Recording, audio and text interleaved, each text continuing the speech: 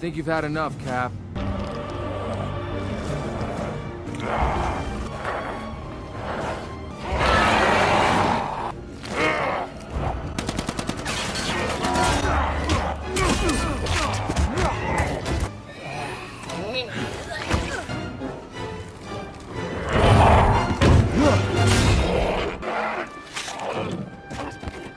Sorry, pal. Guess this is the end of the line.